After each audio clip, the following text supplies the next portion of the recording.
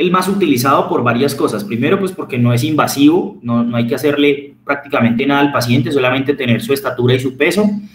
Se puede aplicar a, casi todas las poblaciones. Tiene un muy buen rendimiento y una muy buena relación con los porcentajes de grasa corporal. Se puede ver afectado en unos eh, tipos de poblaciones específicas que no son los más comunes y eh, digamos que es el más utilizado en todos los estudios, por ende, pues es el que más correlación puede llegar a tener entre la aplicabilidad de esos estudios y pues lo que nosotros podemos llegar a hacer en un consultorio. Entonces, tiene diversas clasificaciones, la fórmula creo que todos las, la conocemos, es el peso del paciente sobre la estatura al cuadrado, esto pues nos va a dar un valor y con este valor ubicaremos al paciente en alguno de estas eh, clasificaciones. Y para los conceptos entonces que vamos a manejar durante esta charla, tendremos en cuenta entonces que obesidad será por encima de 30 eh, y em, definir un punto de corte específico que es los super obesos o los super super obesos, que son los pacientes por encima de 50 kilogramos por metro cuadrado y por encima de 60 kilogramos por metro cuadrado. Hay, digamos que, otras maneras de definir la obesidad, eh, no solamente desde el punto de vista de un objetivo de cuantificación del peso del paciente, sino del tipo de obesidad en cuanto a la zona de ubicación de grasa eh, en el cuerpo. Entonces, tenemos una, una obesidad centrípeta o abdominovisceral. Se dice que es la, el, el tipo de obesidad más peligroso debido a que se ha relacionado específicamente con el desarrollo de enfermedades metabólicas como dislipidemia, diabetes y un aumento significativo del riesgo cardiovascular. la obesidad femoroglútea, que se relaciona con la forma de una manzana, es decir, básicamente el paciente es más delgado en el torso y más gordo o más em, con mayor acumulación de grasa a nivel de las caderas y podemos definir también otro tipo de obesidad, que es la obesidad de distribución homogénea, en la que pues no hay una predominancia de la grasa en alguna zona específica del cuerpo. En cuanto a la epidemiología, entonces, eh, esta es una enfermedad que viene en ascenso en el mundo. Eh, según cifras de la Organización Mundial de la Salud, desde 1980 venimos en, un ascenso de eh, promedio de peso de la población con un promedio de más o menos 0.4 eh, kilogramos por metro cuadrado en el índice de masa corporal promedio de la población por década en el mundo.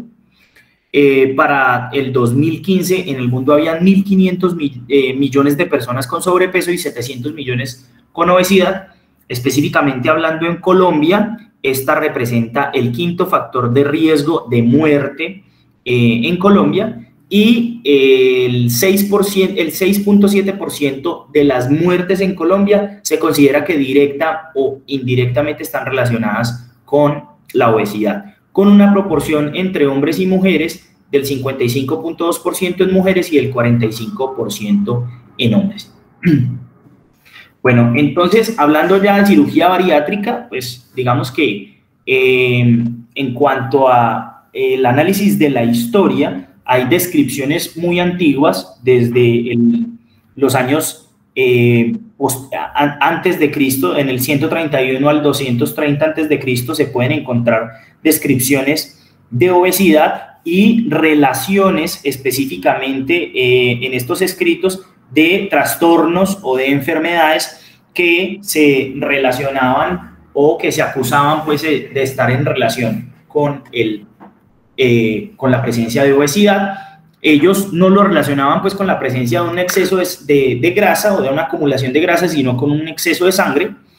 Eh, aquí en esta foto podemos ver entonces a Sancho I, es el, eh, el, la primera persona que se describe dentro de la historia como una persona que se sometió a, una, a un procedimiento quirúrgico con el objetivo específico de bajar de peso, más o menos en el 935 después de Cristo, lo que se hizo fue que eh, un médico judío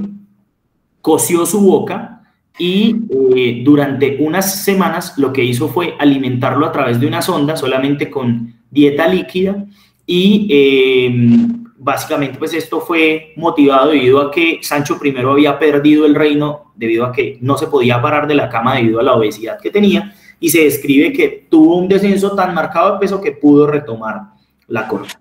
en descripciones un poco más actuales, entonces tenemos a Trasevich y, Bonne Iselberg que describen la presencia de pérdida de peso tras la realización de resección intestinal o de estómago, inicialmente en perros y después en humanos. Eh, digamos que esto fue un eh, hallazgos anecdóticos. Se dieron cuenta entonces que cuando se hacía una resección intestinal o de estómago, estos pacientes disminuían su peso. Eh, en 1954 entonces, específicamente con el objetivo de que ese paciente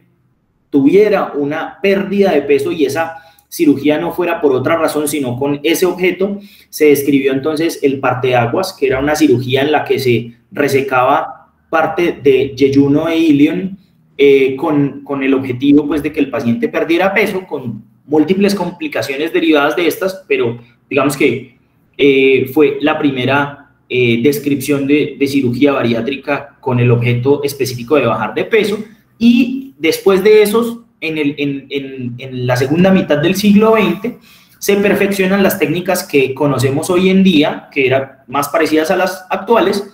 y se describen, eh, digamos que la clasificación de las técnicas que veremos más adelante.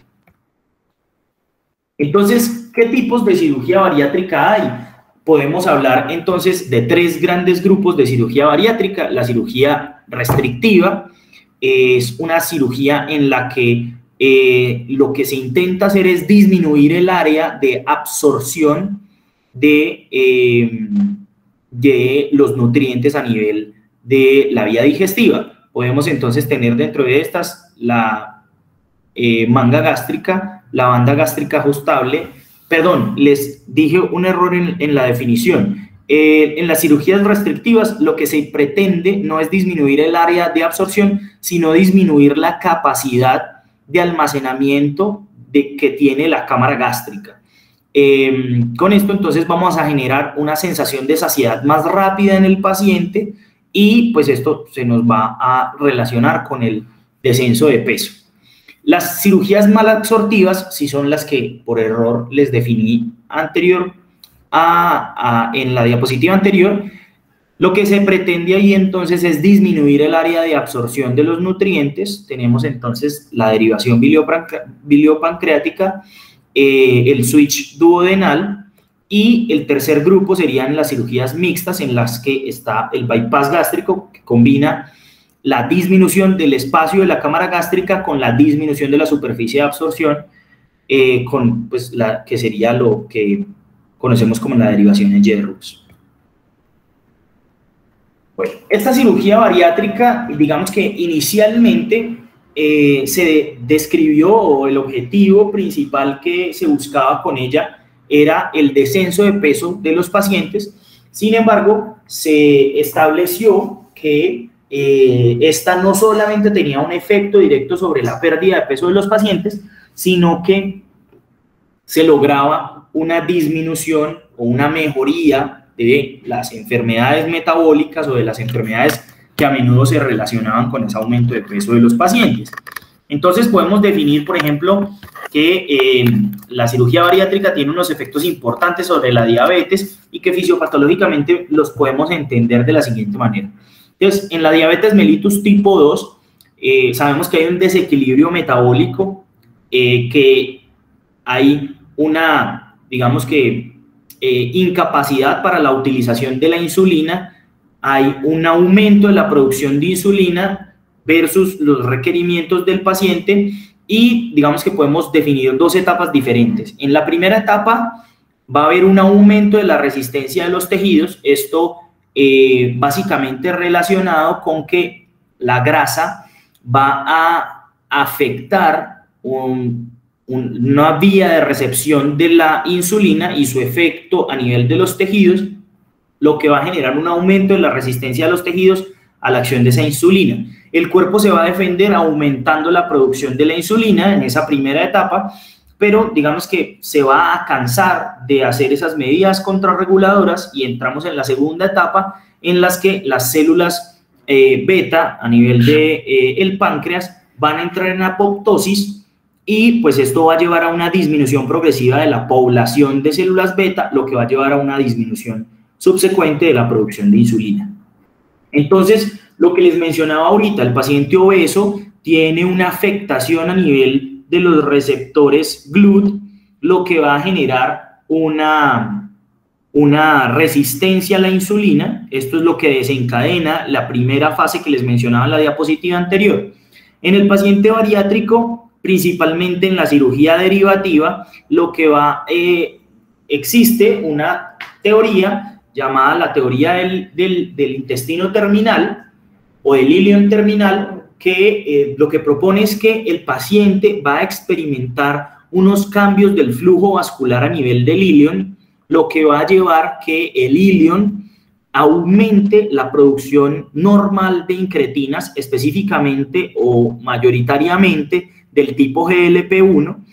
lo que va a generar una reactivación pancreática debido a que el GLP-1 induce la, em, la eh, multiplicación de las células pancreáticas y aumenta la producción de insulina a nivel de los islotes pancreáticos. Em, esto, digamos que se relaciona con que eh, se describan esta hipótesis que les mencionaba ahorita, que un aumento de la velocidad del paso em, en el paso por el duodeno, pues en estos pacientes obesos va a generar una, una, perdón, una disminución en estos pacientes de la velocidad del paso por el duodeno de los alimentos, va a generar un efecto contrarregulador en los pacientes obesos no sometidos a cirugía de la producción de GLP-1. En cuando los pacientes son derivados, va a haber un cambio entonces, se genera un aumento del flujo vascular a nivel del ilion, lo que eleva la producción de GLP-1. Y va a haber una mayor velocidad en el paso por el duodeno, lo que va a generar que disminuya la producción de unas eh, sustancias que aún pues no se han, digamos que, identificado específicamente, pero se han llamado como el grupo de antiincretinas, que lo que hacen es eh, inhibir la acción del GLP-1. Entonces aumentan la resistencia eh, de los tejidos a la insulina y favorecen el paso de apoptosis en las células pancreáticas.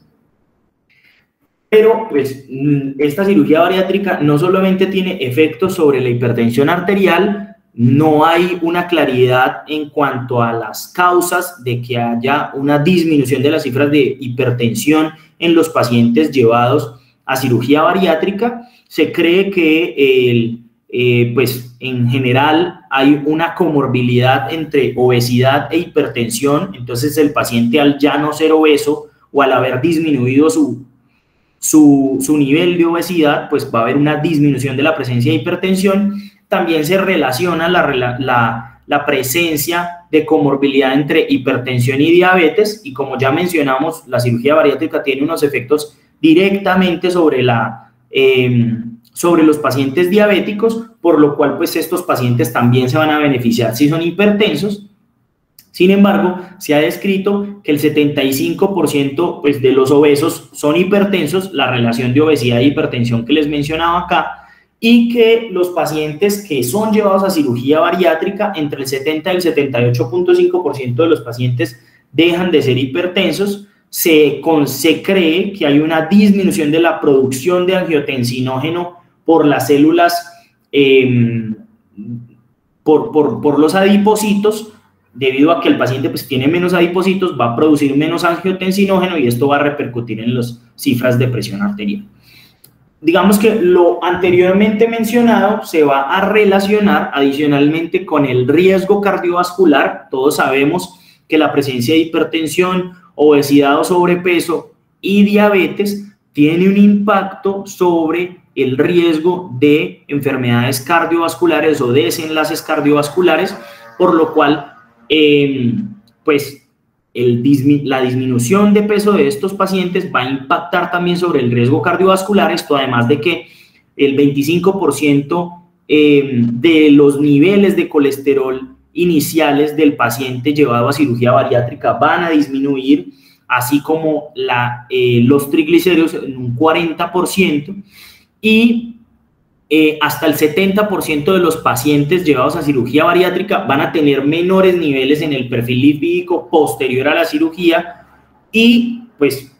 como lo mencioné ahorita, el riesgo cardiovascular se relaciona directamente con la presencia de obesidad o sobrepeso y una reducción del 10% del exceso de peso de estos pacientes va a representarnos una disminución de menos 20% del riesgo en el score de Framingham.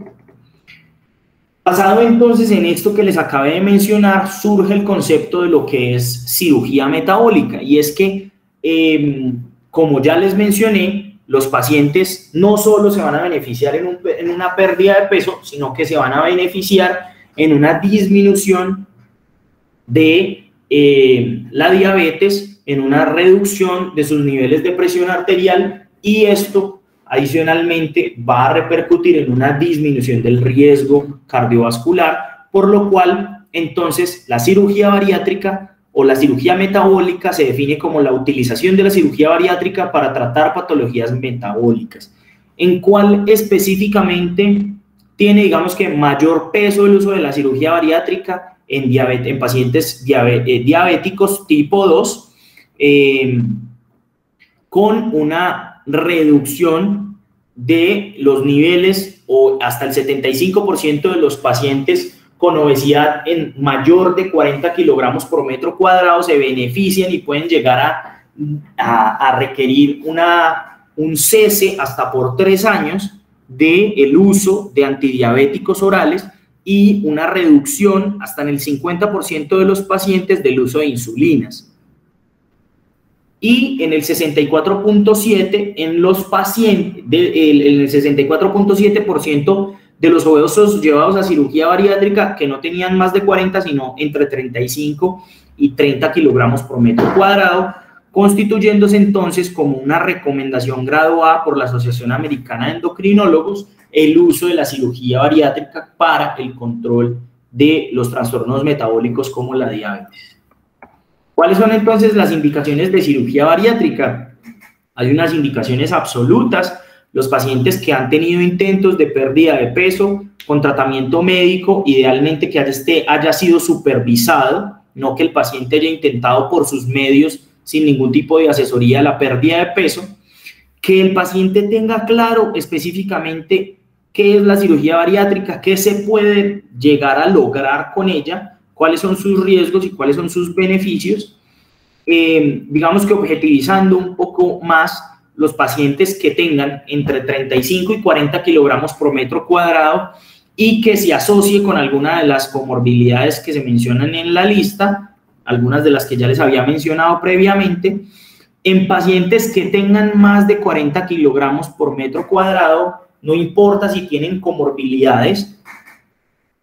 y estas indicaciones aplican para pacientes que tengan entre 15 y 70 años de edad, que pueden, digamos, tener algunos bemoles estas indicaciones y que cada caso pues debe ser evaluado específicamente con el paciente y con el equipo quirúrgico que lo vaya a intervenir. ¿Cuáles son las indicaciones relativas de la cirugía bariátrica? Pacientes eh, con intentos fallidos de pérdida de peso, nuevamente lo que les mencionaba, que tengan claro específicamente qué se puede lograr y cuáles son los riesgos de la cirugía bariátrica y que tengan entre 30 a 35 kilogramos por metro cuadrado con unas indicaciones específicas y con la presencia de comorbilidades. Contraindicaciones, estas contraindicaciones también son relativas, digamos que eh, los pacientes psiquiátricos que no tengan control eh, no, no, no, por, no, no por específicamente la patología psiquiátrica, sino por la ausencia de control de esta, lo mismo la presencia de alcoholismo o drogadicción que no estén controlados, trastornos endocrinológicos sin control, más que todo por la presencia de riesgo que se traduce en un mayor riesgo quirúrgico para los pacientes, de por sí ya pacientes difíciles por sus comorbilidades y por la presencia de obesidad. Y la edad menores de 15 y mayores de 70, que pues es una contraindicación relativa dependiendo específicamente de cada caso. ¿Qué tipos de cirugía bariátrica tenemos? Entonces, tenemos eh, la manga o sleeve gástrico. Eh, este procedimiento eh, lo que va a hacer pues es disminuir la, la, la capacidad de llenado a nivel de la cámara gástrica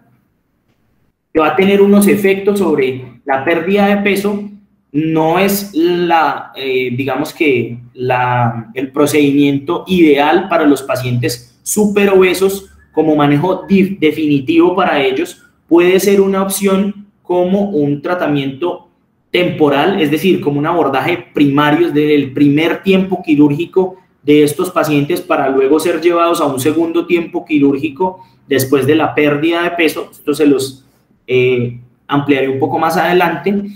El, el, efecto entonces de esta técnica sobre la pérdida de peso puede ser de hasta el 83% del exceso de peso de pérdida en los primeros tres años y en promedio el, la pérdida de peso durante el primer año puede llegar a ser hasta el 61%. El bypass gástrico, que es la técnica gold standard eh, para el manejo del paciente obeso eh, con cirugía bariátrica, es una técnica mixta. Lo que se va a hacer entonces es la construcción de una bolsa o un reservorio gástrico de aproximadamente 60 centímetros cúbicos. Entre más pequeño sea el reservorio, pues se ve una mayor tendencia a la pérdida de peso. Sin embargo, también hay una mayor tendencia de eh, efectos adversos. Y una bolsa de más de 60 cc, pues va a tener digamos que una, un menor impacto sobre la pérdida de peso, una asa de yeyuno, la cual pues em, se va a cortar más o menos a 60-100 centímetros del ligamento de Treitz, el asa biliopancreática que va a tener una longitud de entre 75 a 150 centímetros de la gastro yeyuno, y eh, esta pregunta que digamos que surge eh, sobre la cuestión de si se hace una asa biliopancreática mayor de 150 centímetros, el paciente va a tener un mayor impacto sobre la pérdida de peso. Los estudios dicen que en pacientes con un índice de masa corporal menor a 50 kilogramos por metro cuadrado, no hay diferencia estadísticamente significativa entre una, asa de entre 75 y 150 centímetros y mayor de 150 centímetros. Sin embargo, eh, si el paciente es un súper obeso o un súper, súper obeso, los pacientes que tienen más de 50 kilogramos por metro cuadrado o más de 60 kilogramos por metro cuadrado, sí se benefician de asas biliopancreáticas más de, mayores de 150 centímetros. Los efectos sobre la pérdida de peso son un poco más estables en el tiempo, pérdida entre el 60 y el 80% del exceso de peso en los primeros 10 años posteriores a la cirugía y muy importante este dato, el 75% de los pacientes, ya se los había mencionado, tiene mejorías metabólicas importantes que impactan en la comorbilidad de estos pacientes. Como les decía, em, hasta el 50% de los pacientes diabéticos insulinorequirientes tienen o pueden llegar a tener una un, cese completo del uso de insulinas y hasta el 75% de los pacientes diabéticos pueden requerir una suspensión completa de los antidiabéticos orales. Otra opción, la derivación biliopancreática, eh, es una técnica mixta que combina el uso de una eh, técnica derivativa, además del uso de una manga gástrica, esto relacionado con lo que les mencionaba ahorita. Eh, la derivación biliopancreática es, digamos que, la indicación de manejo en los pacientes súper obesos o súper, súper obesos, debido a que tiene un gran impacto sobre la pérdida de peso y sobre las enfermedades metabólicas que normalmente acompañan a estos pacientes. Y eh, entonces la manga gástrica, como les decía, no es la recomendación en esos pacientes en los que se tiene que eh, digamos que obtener una gran pérdida de peso, pero se puede em, se le puede brindar al paciente la opción de una manga gástrica en un primer tiempo, debido a que, como lo sabemos, el paciente súper obeso o súper, súper obeso tiene unas implicaciones de riesgo quirúrgico muy grande. Entonces, la manga gástrica pues va a ser un procedimiento un poco más sencillo, más corto y menos mórbido eh, en el perioperatorio para el paciente, por lo cual se puede llevar a una manga gástrica y cuando haya una pérdida de peso significativa, llevar al paciente a un segundo tiempo en el que se haga una derivación biliopancreática adicional. Consideraciones técnicas, eh, lo que se va a hacer entonces es por encima de la válvula iliocecal, más o menos dos, 250 centímetros por encima de la válvula iliocecal, se va a hacer pues la sección eh, del intestino delgado se va a realizar una pancreática de más o menos eh, que se va a conectar a 100 centímetros por encima de la válvula iliocecal, como lo veíamos aquí en el dibujo. Tenemos el asa pancreática que va a anastomosarse a 100 centímetros de la válvula iliocecal, es decir, esta distancia debe ser más o menos de un metro. Y el asa eh, distal, pues que es el asa eh, alimentaria, lo que se va a hacer pues es anostomosarla al duodeno y como ya les había mencionado antes, se va a hacer una técnica restrictiva en el estómago con el uso de una eh, técnica de manga gástrica, que puede ser realizada en el mismo tiempo quirúrgico, generalmente como esta técnica se usa en superobesos, pues en dos tiempos como ya les había mencionado.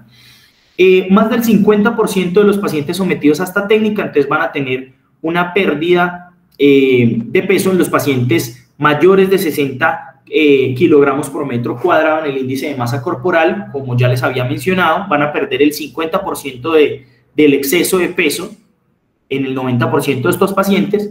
eh, más del 50% de pérdida en el 70% de los pacientes que son mayores de 50 kilogramos por metro cuadrado en el índice de masa corporal pero es el procedimiento que más impacto tiene sobre las comorbilidades que generalmente acompañan a los pacientes superobesos, como la presencia de diabetes, hipertensión o la presencia de sajos. Como ya les había mencionado, eh, los cambios a nivel de los pacientes diabéticos, que incluso pueden requerir eh, cese completo de, de las insulinas o de los antidiabéticos orales, y casi el 95% de los pacientes obesos resuelven el síndrome de apnea hipopnea del sueño solo con la realización de cirugía bariátrica. Entonces, consideraciones específicas sobre el tipo de cirugía. Esto depende de muchas cosas, depende de la experiencia del equipo quirúrgico, de eh, la habilidad del equipo quirúrgico, del deseo del paciente. Hay pacientes que tienen una plena indicación para la realización de un de una técnica mixta como una derivación biliopancreática o como, una, em, como un bypass gástrico, pero el paciente dice, no, yo no, yo no deseo esa, esa no es mi expectativa y pues obviamente eh, eh, prima el deseo del paciente. La presencia de comorbilidades, como ya les mencioné, la técnica de derivación biliopancreática tiene un impacto mucho mayor sobre el control de la diabetes y la hipertensión. El índice de masa corporal del paciente porque hay técnicas en las que se espera una mayor cantidad de disminución de peso y una mayor estabilidad de esa pérdida y del riesgo quirúrgico del paciente, que ya también se los mencioné en el uso de técnicas en uno y dos tiempos.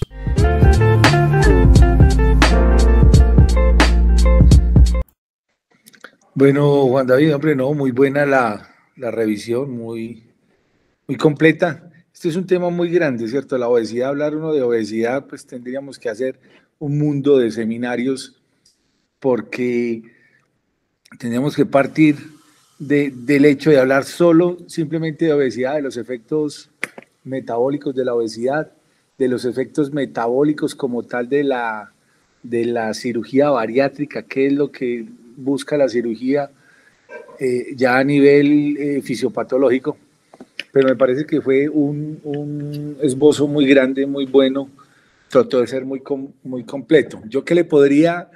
les podría comentar es acerca de la experiencia nuestra, pues ustedes saben que nosotros en el Hospital de Caldas ya llevamos más de seis años haciendo cirugía bariátrica.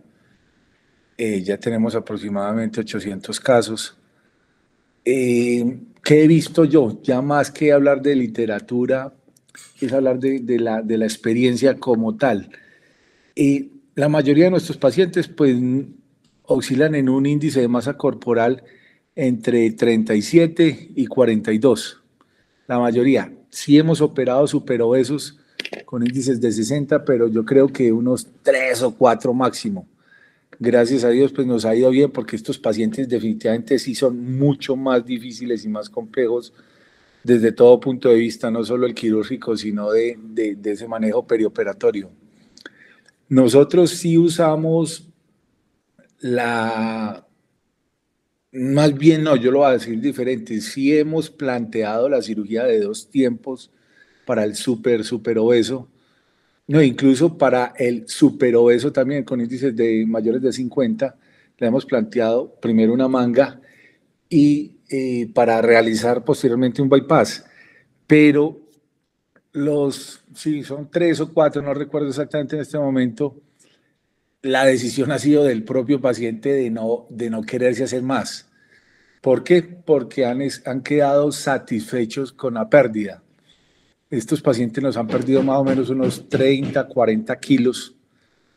no, más bien 35, 40 kilos en promedio. Siguen con obesidad. Les he planteado la, la realización. Generalmente nosotros a los cuatro meses planteamos la posibilidad para empezar los trámites con EPS, pero no han, han preferido quedarse así y no someterse a, a más cirugía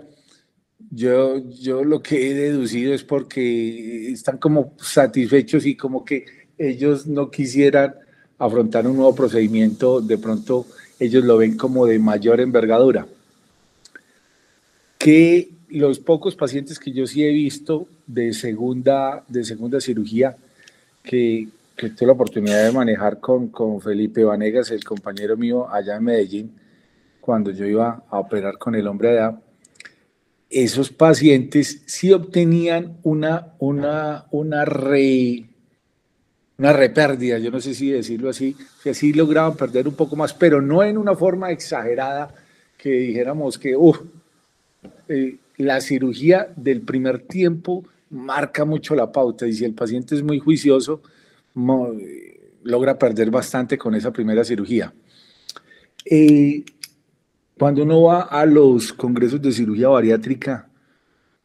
pues sí se, menciona algo, eh, la derivación biliopancreática, pero la mencionan más como en las descripciones, como a manera más de, como, como hizo Juan David, de, reseña histórica de que es un procedimiento,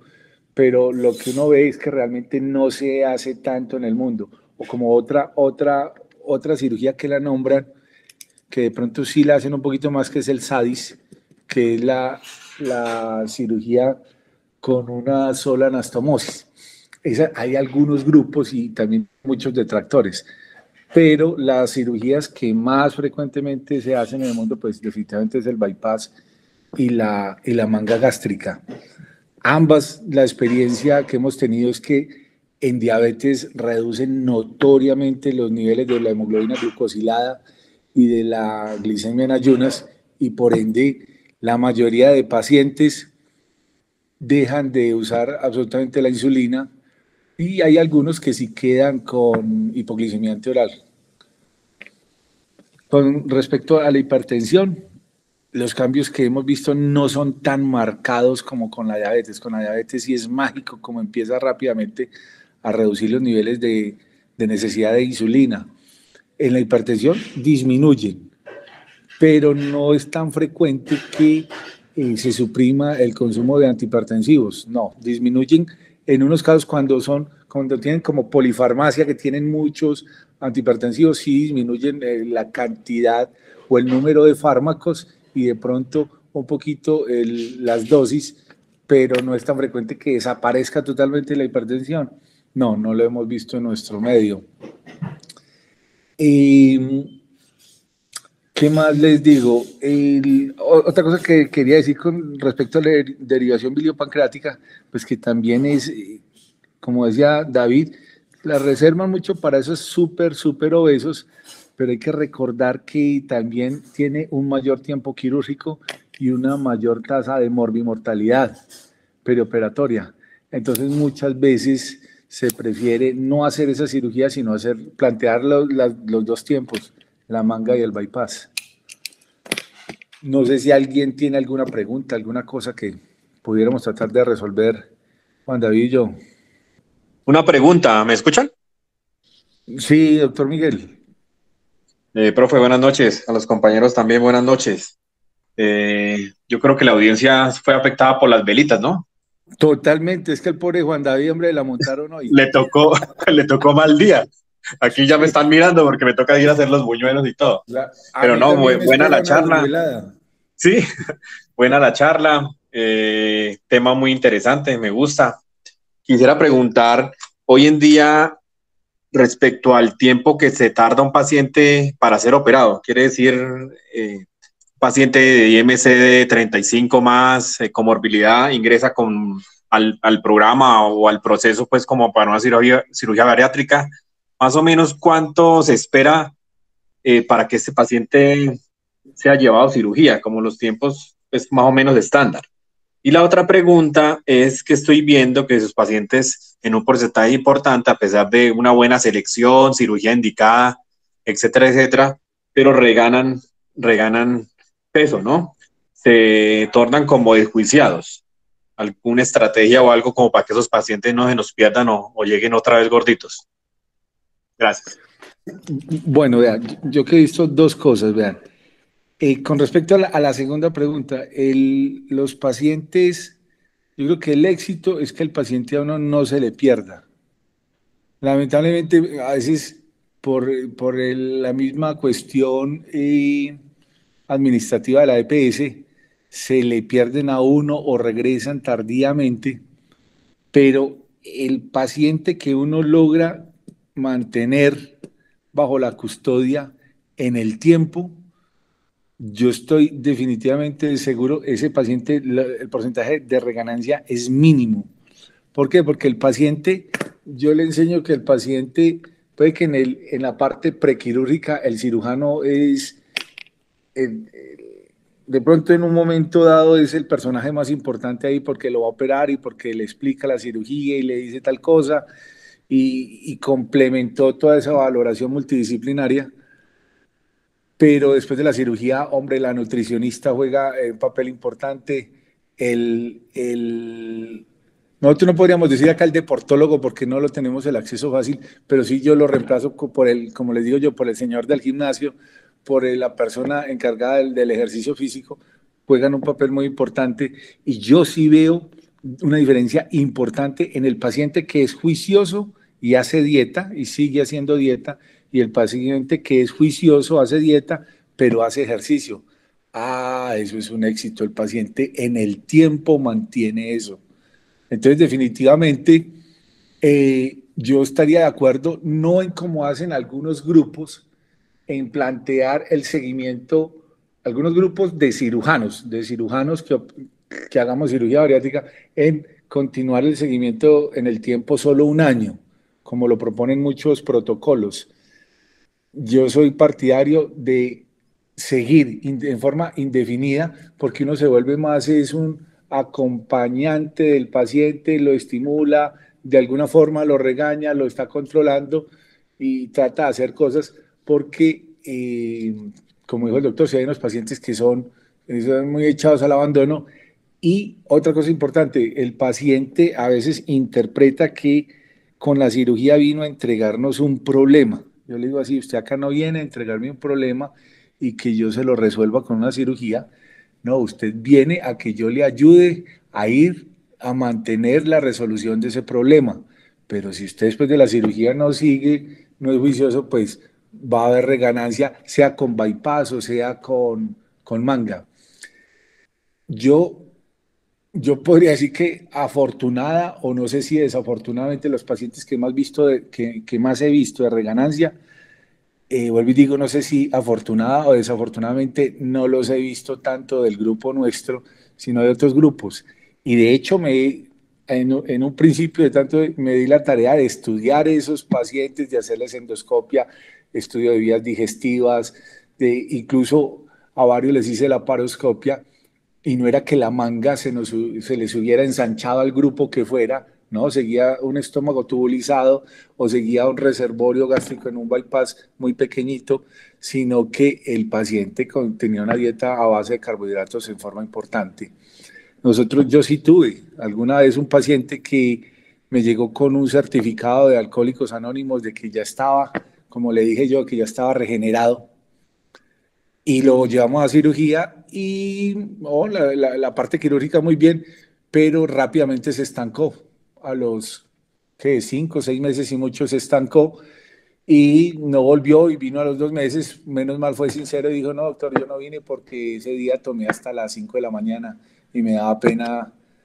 el tufo que tenía. Entonces, definitivamente el alcoholismo sí es una contraindicación, yo diría que sí es absoluta, no relativa, sino absoluta. Entonces, es como jugar con eso. Y en cuanto a los tiempos quirúrgicos, el problema de la obesidad y el problema de eso es que no es que tenga muchos dolientes. Yo he tratado de interpretar dos, dos, dos tipos de, de, enfoque. Uno que se hace, por ejemplo, en la nueva EPS, que en la nueva EPS eh, el paciente o lo manda el endocrinólogo, el internista, o lo mandamos nosotros los cirujanos, y tenemos una visión clara de que lo debe, que lo debe, que debe emitir un concepto psiquiatría, endocrinología, ortopedia, psicología, nutricionista y cirugía bariátrica. Entonces, un pobre paciente con un índice de 40, 45, con francas indicaciones de cirugía, de pronto ese paciente no se va a demorar tanto en la nueva EPS como si se demoran en otras EPS, pero no porque en las otras EPS lo estén haciendo excelentemente bien. No, el paciente le hacen lo mismo. Lo ve el internista, le dice que tiene que bajar de peso, lo ve la nutricionista, le dice lo mismo, le manda una dieta, pero no hay un mayor intervencionismo. Yo lo que veo es una mayor dilatación del tiempo, porque las EPS hay algunas que no se han concientizado que sale mejor a ese paciente hacerlo bajar de peso, ayudarlo a bajar de peso con una forma quirúrgica, para evitar las comorbilidades de la obesidad.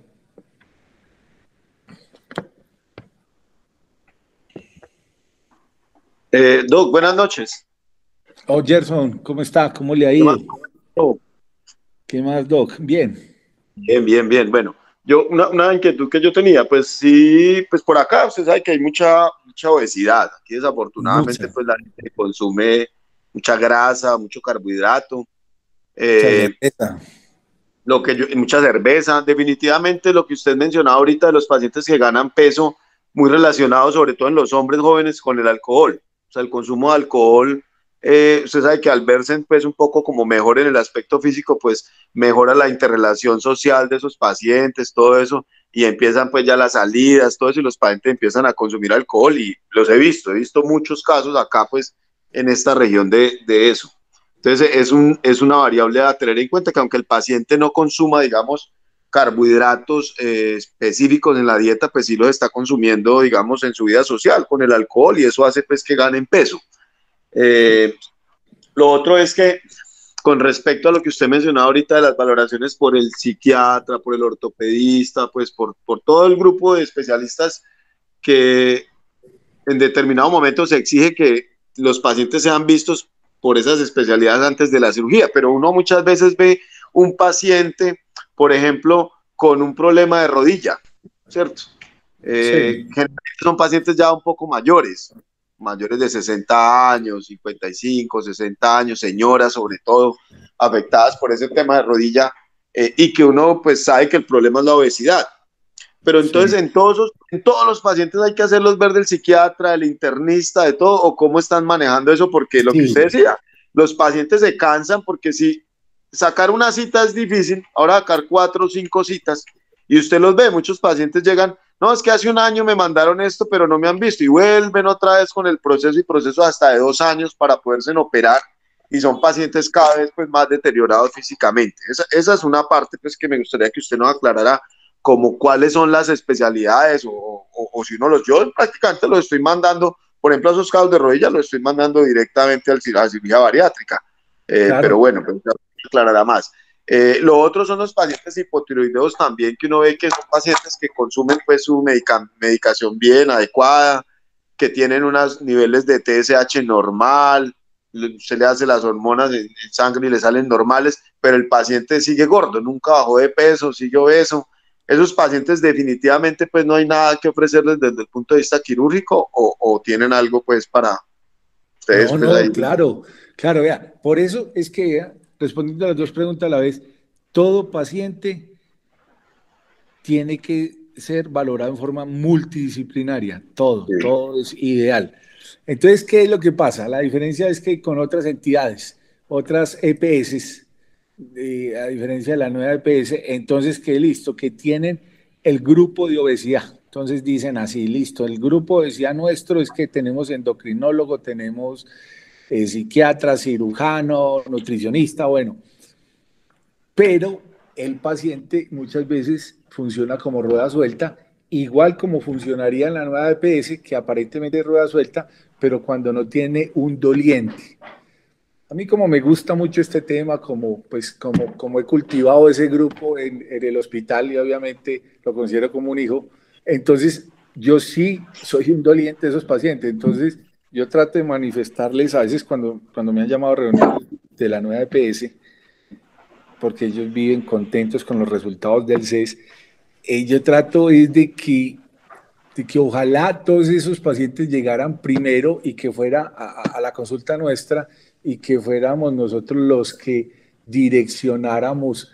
y cumpliéramos los protocolos. A las EPS les gusta mucho y a mí no me parece malo, a mí me parece muy bueno que el ortopedista nos dé el concepto de que ese paciente, lo más, lo más difícil, porque más fácil es cuando tiene muchas comorbilidades, pero ese que usted plantea de 55 años, con ya con signos incipientes de artrosis de rodilla, con una obesidad grado 2,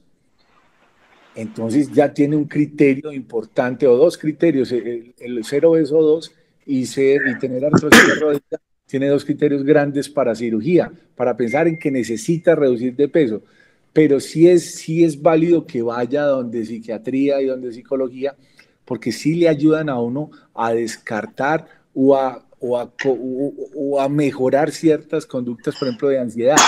He visto y, y, sí sirve. El endocrinólogo, por ejemplo, nos ayuda a descartar mucho que la causa, por ejemplo, con respecto al hipotiroideo, que definitivamente su hipotiroidismo está controlado, está bien, que no tiene otras causas endocrinológicas, él les, pide cortisol, o yo una vez los mando con cortisol urinario, con cortisol eh, sanguíneo, con eh, ACTH, y él les descarta otra serie de cosas, entonces colocan siempre en el concepto, este paciente no tiene eh, otras causas endocrinológicas de obesidad, es un buen candidato para cirugía. Entonces así se va justificando eh, la necesidad. Entonces, yo qué sugeriría, si pudiera hablarle a todo el mundo, es, hombre, sí, mándenos los pacientes a nosotros y nosotros le ayudamos porque yo sí me caso con el paciente. Vaya donde el internista, vaya donde, ideal donde el endocrinólogo, vaya donde fulano, vaya donde sultano y regresa, le doy control en dos meses, ¿qué ha pasado? ¿Qué le han dicho? ¿Cómo va la cosa?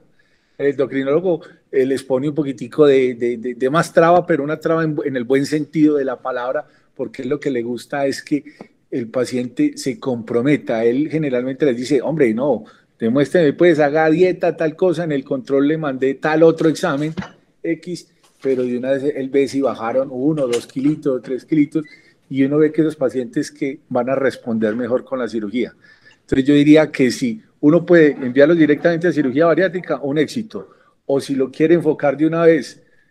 darle cirugía bariátrica, endocrino, psiquiatría, psicología, nutricionista, sería, sería lo ideal para el paciente, para que el pobre paciente no dé tantas vueltas.